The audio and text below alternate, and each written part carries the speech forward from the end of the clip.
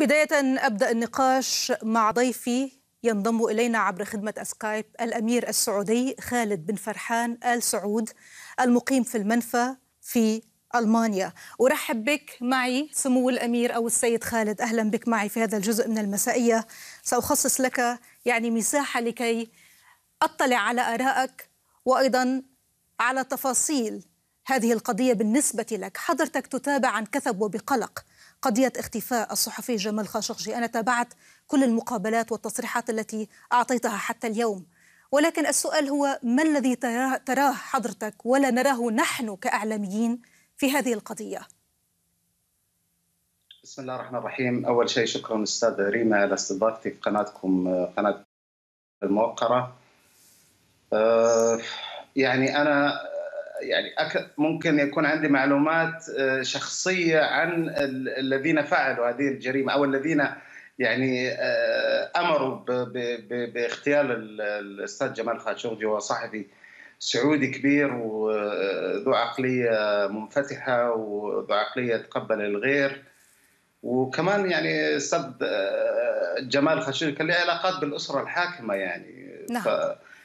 هو نفى عن نفسه إنه يعني إنه يطلق عليه معارض سياسي أو بالعكس يعني هو يعني في كل مرة أحد يطلق عليه معارض هو ينفي الصفة هذه عنه. ويعني شخص لا يمثل أي خطورة وحتى يعني انتقاداته انتقادات ناعمة. يمكن أنا أشوفها فيها غزل كمان للحكومة. ف ما الذي يعني تعلمه ولا نعلمه نحن؟ اعلم عقلية القائد السياسي في السعودية عقلية الملك سلمان يعني. عقلية الملك سلمان هو حكم كان حاكم لمنطقة الرياض اللي هي العاصمة السعودية ل 50 عاما. وكان معروف يعني أهل الرياض أهل يعرفوا عنه إنه كان يعني شخصية جبارة شوي يعني. في عنده عنف في ما عنده الحنكة السياسية لكن عنده الأمر. فبطبيعة الحال لما صار ملك اتبع نفس السياسة اللي كان يتبعها مع في طريقة حكمه للمواطنين في منطقة الرياض. بس طبيعه الحال أصبح ملك فصارت نفس السياسة أو النهج السياسي نفس النهج متبع مع السياسة الدولية هل, هل أعذرني على المقاطعة فقط لكي أكسب الوقت مع حضرتك. هل أفهم من كلامك بأن الأمر أو الأوامر العليا يستح يعني من المستحيل أن يتم إعطائها دون العودة إلى رأس الهرم ألا وهو العاهل؟ هل هذا ما تقوله لي؟ بالتأكيد يعني بالتأكيد. شوفي المعارضين من الأسرة الحاكمة الذين خطفوا من أوروبا كلنا نعرف قصتهم. هذا من أمر من الملك نفسه.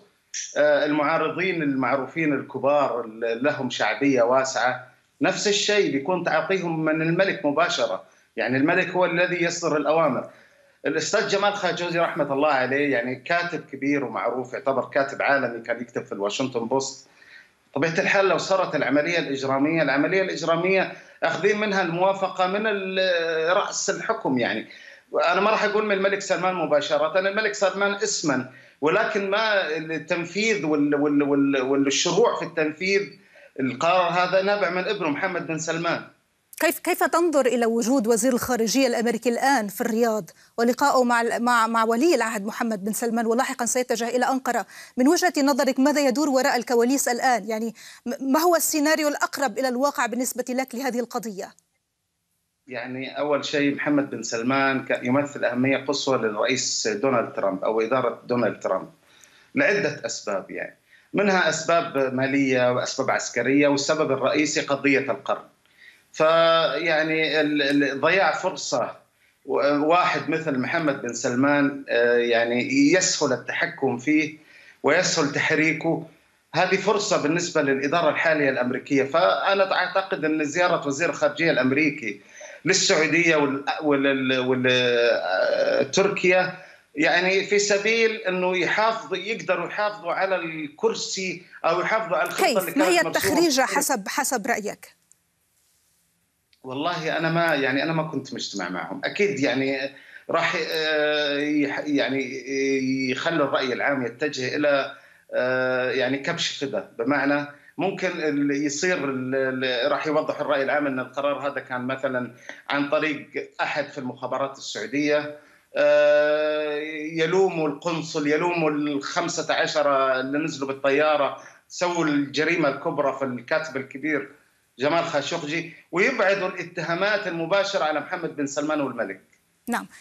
سمو الأمير دعني أسألك هنا إلى أي مدى هذه القضية قد تزيد من عمق الانقسامات داخل العائلة المالكة؟ نحن لقينا عملية الاحتجاز لعدد من الأمراء. بالطبع حضرتك تحدثت أيضا عن عمليات استرجاع أمراء وخطفهم. حضرتك الوحيد الذي تبقى هنا في ألمانيا وسنتحدث عن هذا الموضوع. يعني ماذا يعني ذلك لداخل العائلة المالكة؟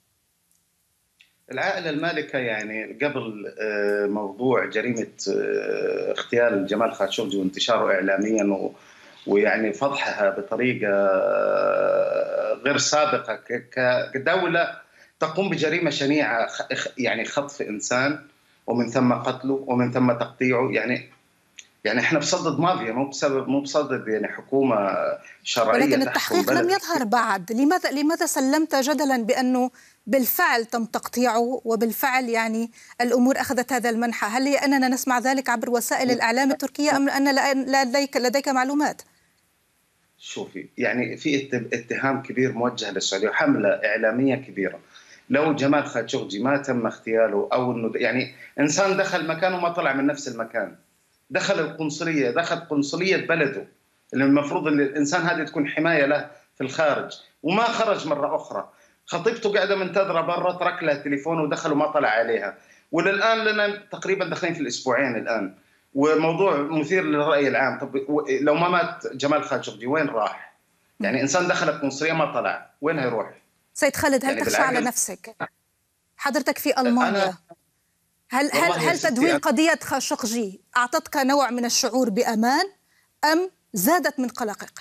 أعطيني رأيك في هذه النقطة لأنه مهمه لي. أنا بصراحة أنا بفكر يعني آه، أنا لي فترة طويلة في موضوع الملاحقات والتهديدات والأشياء هذه. فأنت بتسأليني يعني أنا غيري ممكن كان يخاف بس أنا اشوفها أنه يعني انفضحوا أمام الرأي العام. فهم لو ودهم يقتلوني فهذا يعني أنا ما يعني آه، ما أعول على طريقة تفكير الإدارة السعودية لانها طريقة غير عقلانية. لكن أنا موجود بألمانيا لديك يعني حماية؟ الشرطة, الألمانية على اتصال معي ومعطيني رقم تليفون. آه، شخص معين في الشرطة 24 ساعة أقدر أمام منزلي بشوف سيارة الشرطة دائما تمشي ويعني حاسس بأمان. إي نعم. ولكن الشيء الوحيد اللي يخوف اللي يخوف طريق العقليه العقلية عقلية الحاكم السعودي الحالي يعني. يعني في عقلية متهورة ما بيحسب العواقب والنتائج. بس هذا الشيء الوحيد اللي أنا أحسب له حساب يعني. لو عقل لو إنسان عاقل أو يحسب النتائج والعواقب المترتبة على الأفعال يعني بصراحة كنت أكثر آه، راحة يعني. طيب لدي سؤال أخير نعم. قبل أن أودعك وأشكرك على وجودك معي. السؤال الأخير هو حضرتك موجود في أوروبا موجود في ألمانيا. سمعت التنديدات نعم. من هنا لهناك ولكننا نعلم في النهاية يعني على الصعيد الدولي العلاقات الدولية تحكمها المصالح. أليس كذلك؟ حضرتك تحدثت عن المصالح الأمريكية مع السعودية. هل تتوقع أن تتغير أو أن يتغير أي شيء في التعامل الدولي مع الرياض بعد هذه القضية؟ يعني التعامل الدولي قصدك يعني الأمم المتحدة ولا الدول كل دولة منفردة تتعامل على حسب مصالحها. هذه هي. لكن بالنسبة للإدارة الأمريكية طبعا بالنسبة ل... إحنا لابد أن نفصل يعني أمريكا النظام السياسي الأمريكي مو النظام السياسي السعودي. يعني النظام السياسي السعودي هو الملك هو النظام السياسي. لكن في أمريكا لا. السلطة التنفيذيه هي إدارة ترامب. السلطة التشريعية الكونغرس الأمريكي. السلطة القضائية مستقلة منفصلة. لكن الكونغرس الأمريكي لو أصدر يعني يعني أصدر آه، تشريع عقوبات على المملكة العربية السعودية حتى دونالد ترامب ما يقدر إنه يعني يلغيها أو يمنحها أو كذا بتصدر كقانون. يعني تمشي على ترامب وعلى غير ترامب. نعم. ما الرسالة الأخيرة التي توجهها للعاهل السعودي؟ وما الرسالة أيضا التي توجهها للمعارضين؟ ومن يتواجدون في الخارج هربا من الرياض مثلك؟ ونختم. أوجه أوجه رسالة للملك سلمان بقول له يعني المملكة العربية السعودية يعني ليس شرطا أن تكون المملكة الرابعة السلمانية. يعني أنت إخوانك كلهم كانوا ملوك وأنت صرت ملك. يعني مو شرط انه لازم أحد من أحفادك هو اللي يكون متس... يعني تسلسل الحكم المستقبلي لهم. في أناس في العائلة أمراء على ثقافة عالية وعلى تعليم وعلى إنسانية. وعلى يعني عندهم عندهم آه عندهم آه يعني قبول شعبي وقبول من داخل الأسرة الحاكمة. عندك يا سلمان بن عبد العزيز. أخوك آه، سمو الأمير أحمد بن عبد العزيز. إنسان ذو خلق وأنت تعرف كلنا نعرف السعودية وشعب السعوديه والأسرة كلهم. يعني من باب الحكمة إذا في حكمة لسه فأتو يعني يكون أفضل إنك يعني تتنازل له على الحكم. يعني حفظا لماء الوجه.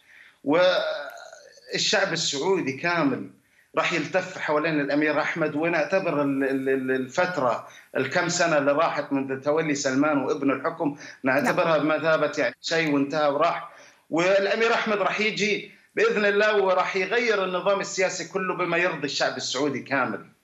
أشكرك ف... نحافظ على دولتنا ونحافظ على باقي الدول العربية والإسلامية هذا آخر شيء أتمنى من الله أنه يسمعني. شكرا لك سمو الأمير السعودي خالد بن فرحان آل سعود. أشكرك على هذه المداخلة معي في بداية هذا النقاش. يا هلا بك. شكرا لك.